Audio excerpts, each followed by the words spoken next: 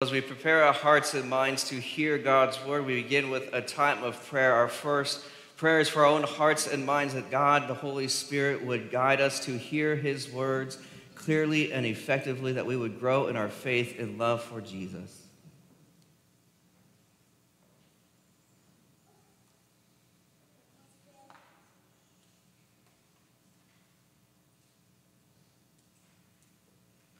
Our second prayer is for our brothers and sisters in Christ that the Holy Spirit would calm any fears or worries or stress that they have in their hearts and minds, so that they would hear God's word and be comforted and encouraged by the gospel.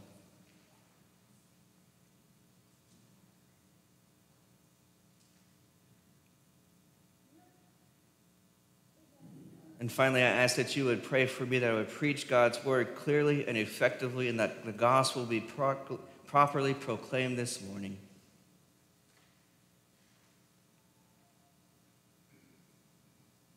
Psalm 19 says, Let the words of my mouth and the meditation of my heart be acceptable in your sight, O Lord, my rock and my redeemer. Amen.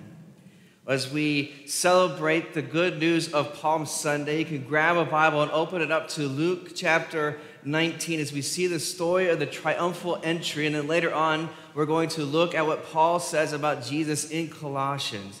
But in the triumphal entry, it's beautiful that we call it triumphal. Because if you look at the story, Jesus hasn't done what yet? He hasn't gone to the cross yet, and he hasn't risen from the dead yet, right? That's coming later in the week. And yet, what we call what Jesus does on Palm Sunday is the triumphal entry. He's entering as our King. And the response that we do on Sunday is we have palms and we shout Hosanna, we sing hymns of praise, and we celebrate the good news. This is our King, our Savior, our Lord. And the crowds back then did the exact same thing. They gather around, they see Jesus coming in on a donkey, and they begin to grab palm branches and wave them and put them in the road to make a red carpet for him and say, This is our King who has come to save us. In fact, in Luke's gospel, it even says, Blessed is the King, right? They are celebrating that he is our ruler, he is our reigner, he is our Lord. And that all sounds wonderful until we mess it up, which is like what we're best at as humans, right? Anybody ever had something really great going, whether it was a party, a celebration event, and then you or someone else ruined it? No, you all have perfect parties. No one ever said something weird, awkward, right? Like, we, we know that, like, oh, wow, look at how good things are going. And then a lot of times, what do we do is our natural instinct is, what's going to go wrong, right? When, when is it going to mess up?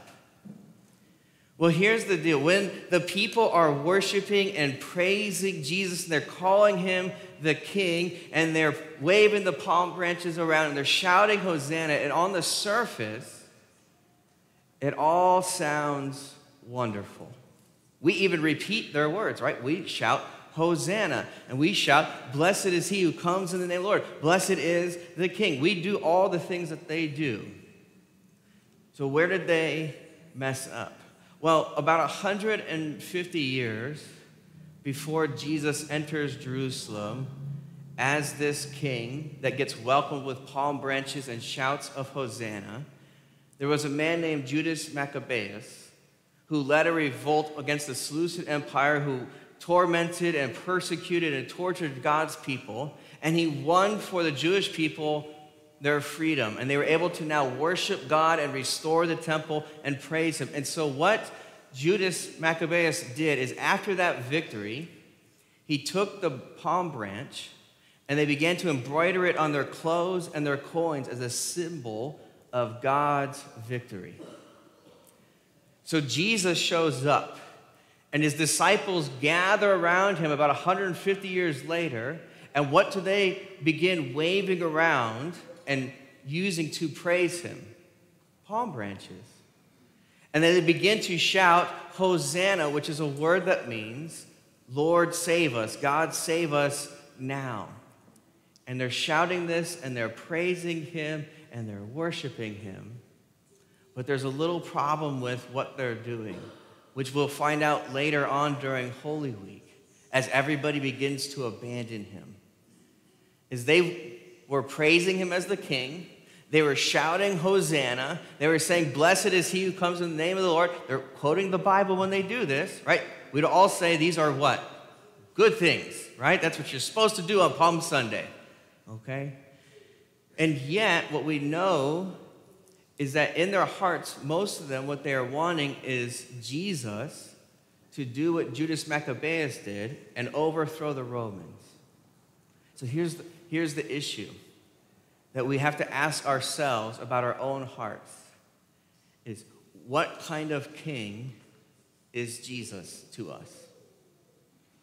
For many people back then, he was a revolutionary. For many people back then, he was a political king that was going to change the government and set some new things up. Right? And here's the deal because Ecclesiastes says there's nothing new under the sun. So before you get all judgy, judgy about the people back then, be like, oh, they didn't understand Palm Sunday the way we do. We still have, just like they did, sinful hearts.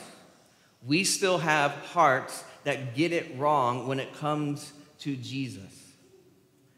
So often we want Jesus to be our version of Jesus. Have you ever encountered this in the world, right? People will say, well, my Jesus isn't like that. My Jesus wouldn't do that. My Jesus wouldn't do this. My Jesus wouldn't say this. And then everybody's favorite is when you mix it with politics, you say, My Jesus would vote this way. My Jesus would never vote this way. My Jesus would like this candidate. My... Anybody else ever get sick of that stuff? Or is it just me? Right? We know this still happens, right? We want to say, My Jesus. He's going to be king. We'll say all the right words. He's Lord, He's Savior, He's King, just like they did, right? But then the classic Lutheran question is well, what do you mean by that? Right? Are you really worshiping Jesus as He is? Or are you trying to make Him into something that you want Him to be that benefits you? See, in this story, when Jesus shows up, on the surface, it looks like they're getting everything right. They've got the palm branches saying, Jesus is here to bring us victory. And that's true, he does bring us victory. It's called Good Friday and Easter. They're shouting, Hosanna, Lord, save us. And that's absolutely true, right? Jesus does save us. It's his cross and resurrection. And they're shouting, Blessed is the King. Jesus is our King. He is the ruler and reigner over all things. So the issue isn't the words they're using, right? The issue isn't the traditions that they have. The issue is the same issue it's always been throughout Scripture, which is our hearts. Do we worship Jesus as he reveals himself to be for us? Or do we do what many people in the crowd did, which is say, Jesus, you can be my king, and you can be my Lord, and you can be my Savior, as long as you do the things that I want you to do. As long as you rule and reign in the way that I want you to do, as long as you save me from the things I want you to save me from. And here's the problem is that just a few days later, in Holy Week, almost every single one of them will abandon Jesus, including the apostles. And here it becomes why? Why would they do that? Don't you see, like, a week is not a long time, right? Anybody think a week lasts a long time? All right. Right? It goes by fast. You know what goes by really fast for pastors? Holy Week. It's like the fastest week in the whole world. but just think about it we here on Palm Sunday, the whole crowd is doing what?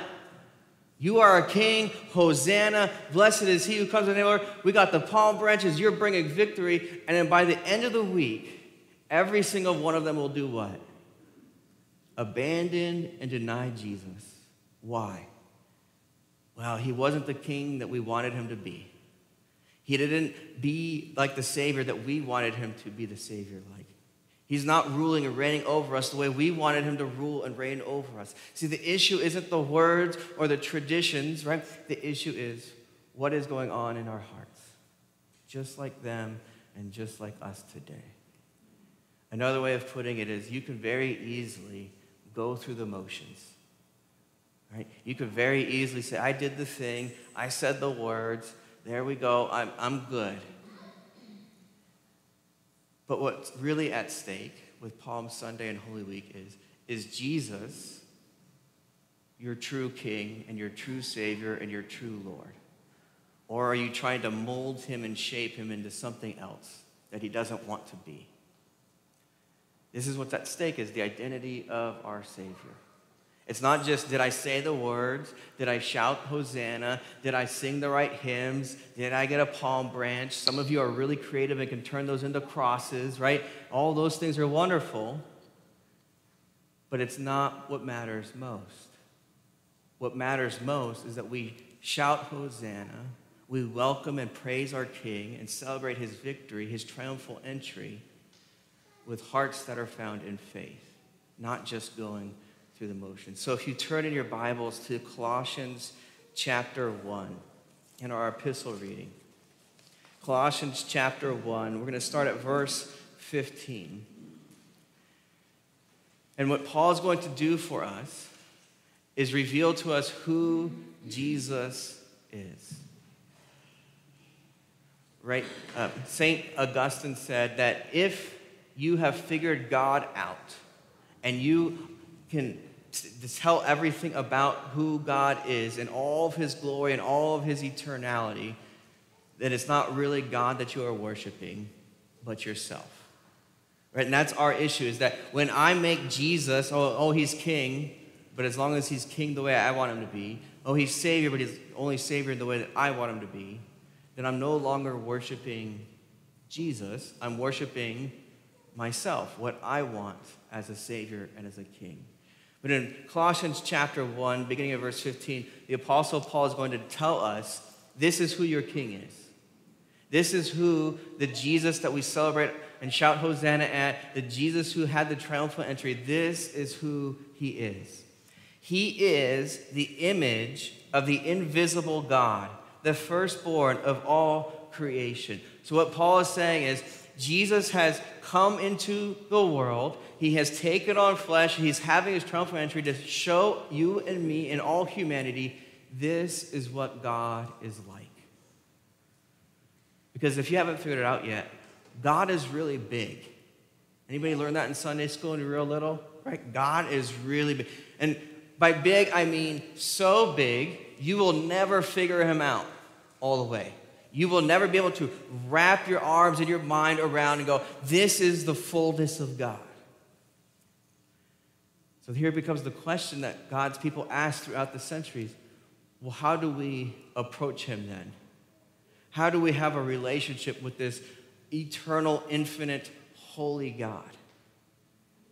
And the answer that God gives to us in John's gospel is Christmas that Jesus comes as God in the flesh to dwell among us. And John's gospel says we've seen the fullness of God in all of his glory and in all of his grace. And so Paul's saying if you want to know who God is, you look at Jesus. And what are we celebrating about Jesus on Palm Sunday? We're celebrating that he has come to be our king and be our savior. Verse 16, for by him all things were created, in heaven and on earth, visible and invisible, whether thrones or dominions or rulers or authorities, all things were created through him and for him. So, what kind of ruler and king is Jesus? He's the one who rules over all things, is what Paul's saying. There's not a single area of the universe or existence that Jesus, our King, is not ruling and reigning over. And then Paul says at the very end of verse 16, and it was all created for him.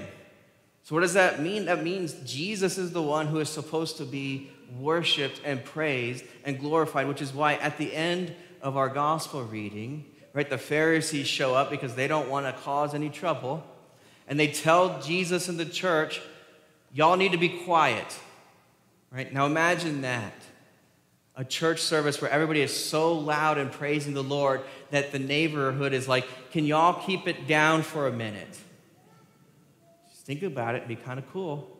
Right? We could pop the windows open, make a ruckus for the Lord. And what does Jesus do? He looks at the Pharisees and he says, Oh, yeah, you're right. We don't want to upset anybody. No, what he says is, if they be silent, if they are quiet, then the very rocks, the very stones of the earth will raise up and begin praising and glorifying me. Why? Well, that's what Paul is saying in Colossians 1, verse 16. All things were created through him and for him. When we say Jesus is the king, when we say he's the ruler and reigner of all things, we're also saying he's the only one worthy of our worship. So that's a heart question. Is Jesus the only one worthy of worship in your heart and in your life? Now, it's kind of a mean question because the answer is no for every single one of us. We would like him to be, but he's not. We call it idolatry. Right? Every time I worship, pursue, seek something else or someone else or anything in this world, whether visible or invisible, and say, that's my highest priority in life, that's the thing that gets my attention and my desires and my passions and my glory, guess what I've done? I've replaced Jesus as my king, as my ruler and reigner in my life. Martin Luther put it this way. He used to say that whatever your heart turns to for comfort in your moment of need, that is truly your God. So now we all realize I've got idols in my life. I've got false gods and false kings in my heart because when I'm stressed out, I will confess to you as your pastor, I don't always turn to God in prayer as the very first thing.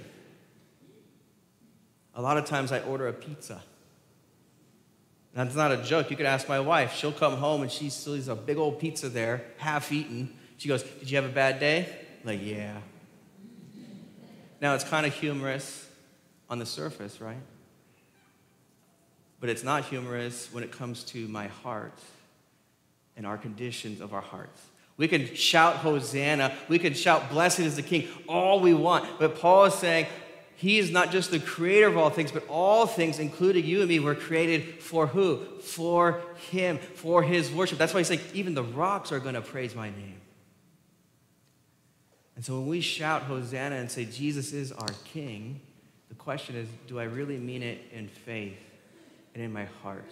Or are there areas that I need to repent of and say, I've made these things higher than they ought to be? These things have become my comfort. They have become my solace. They have become the ones that I shout Hosanna to. Will you save me from this stress, from this anxiety, from this fear? Rather than saying, Jesus, will you be the one that comforts me and saves me? So we can say the words all we want, but what God's word, what Paul is calling us to, is saying, but you also need to go through repentance and say, I've, I've got these other kings. I've got these other rulers. I've got these other things that I worship and shout Hosanna to. Will you be the thing or the person that saves me rather than Jesus? In verse 17, St. Paul goes on, he says, And he, that is Jesus, is before all things, and in him all things hold together. And he is the head of the body, the church. So he is before all things, meaning he's above, he is first place, he is primary over all things in the entire universe. When you and I shout, Blessed is he who comes in the name of the Lord, blessed is the King on Palm Sunday or any other time in our lives, that's what we're supposed to mean. He is the King of kings and Lord of lords, and there is no other. And then here comes another fun question for all of us. Verse 18, he is the head of the body, the church. Which means He's in charge of what? It's right there. It's right there. I just read it for you, right? He's the head of the church, right? Which means, guess who's not the head of the church? Guess who's not in charge? Guess whose church it doesn't belong to? All y'all and me. Right? I'm not the head of the church. Who's the head of the church? Yeah. Whose church is it? Who's in charge of it? Good, we're all in agreement. So let's repent. Isn't that what Paul wants us to do? He's the head of the church. So we say, oh, he's our Savior. He's the Lord. Yeah, of all things in creation, including and most specifically his church. It belongs to him. He's the ruler and the reigner of the church. Right? So he's the one that's in charge. He's the one that has all the authority. He's the one that's telling us here's what it means to be a church, here's how I want you to live. So, again, going back to the Palm Sunday crowd, what did they do on Palm Sunday back then? They grabbed their palms, they shouted, Hosanna, save us. They shouted, Blessed is the King. You, you are it, Jesus. You're our Savior. You're our Lord. You're our King. It all sounds great. It's a wonderful worship service. They're so loud, they get in trouble. And yet, by the end of the week, what's going on? They've all done what? They've abandoned him. Some of them are probably part of the crowd shouting, Crucify him, in fact. Because they were like, Oh, well, we wanted you to be our leader, but not in that way. Right? It, it is very easy when I've got you trapped here to say, oh, yeah, Jesus is the Lord and the King. It's His church, right? He's the one that's in charge of the church. It belongs to Him. It's very easy to say that right here and right now, right? Because that's what Bible says. It's what Paul's saying. We're all in agreement. Oh, this is wonderful.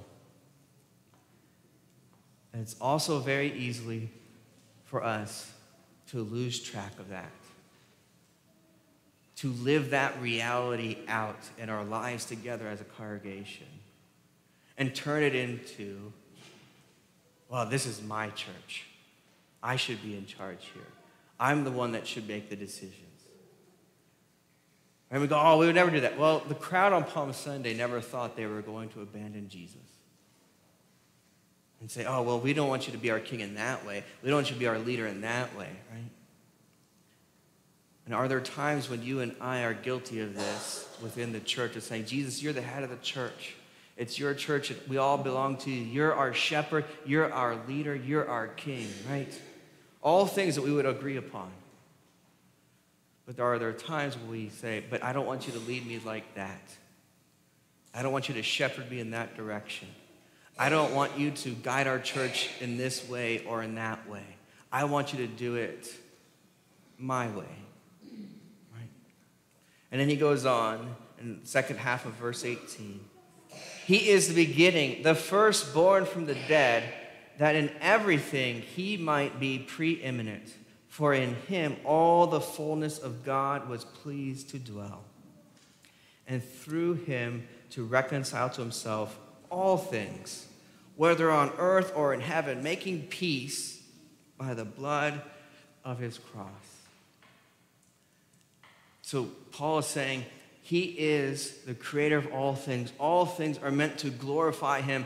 The church belongs to him. And then he's telling us, and here's why he should be preeminent in the whole world and in your life and in the church. The short answer is Good Friday and Easter. See, why, why should the crowd shout Hosanna? Why should they worship him as king and say, You are our Lord and you are our Savior and you are our King? And even though they got it wrong at first, Paul is saying, Here's why we do this.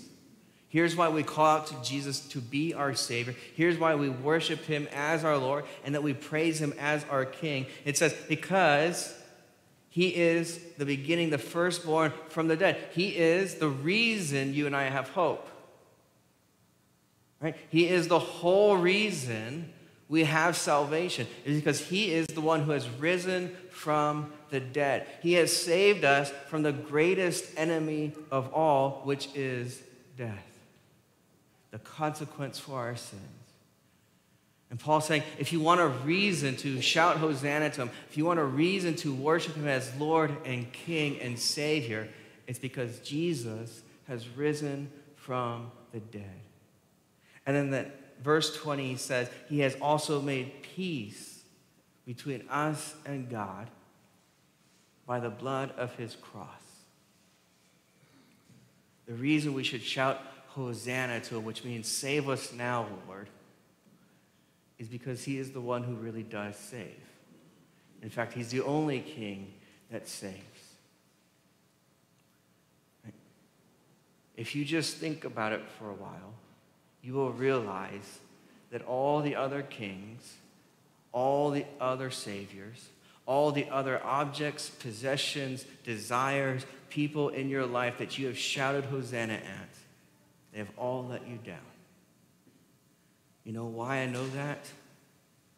Because we continually keep shouting Hosanna at the next thing, and the next thing, and the next one. And Paul is saying, if you want peace, you don't have to keep worrying and living in fear. If you want peace, where you don't have to keep shouting Hosanna over and over and over again at one thing after another, then shout Hosanna at Jesus because by his blood, by his cross, he has made peace for you and he has given you salvation. So, why the heck do we call him our King? Why do we celebrate him with palms of victory? And why do we shout Hosanna to him? It's because he is the one who has given us peace by the blood of his cross, and he is the one who has risen from the dead. He is the only one who has given us the salvation we really need. So as we enter into Holy Week and we shout Hosanna and we celebrate and welcome the triumphal entry of our King, I want you to keep that truth in your hearts and minds. That this is why Jesus really is our King. This is why He's really our Lord. This is really why He is our true Savior, is because of His blood on the cross and His resurrection from the dead to give you and me peace and life. Let's pray. Lord Jesus, we give thanks that you indeed are our King, our Lord, and our Savior that as we come to you in faith, worshiping you and praising you, that we do so knowing that you have given to us peace and forgiveness and salvation through your cross and death and through your resurrection. As we enter into Holy Week, may that continually be our focus, the work of salvation that you came to do, to be King of kings and Lord of lords and our eternal Savior. In your name we pray. Amen.